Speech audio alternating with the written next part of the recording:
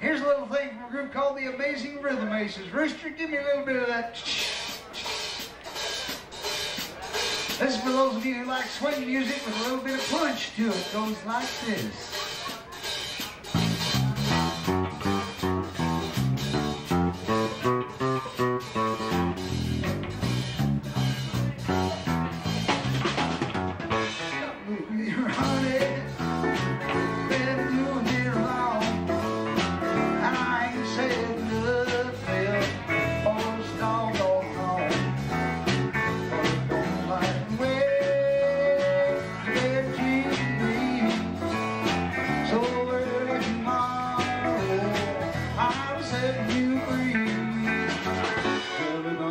Hot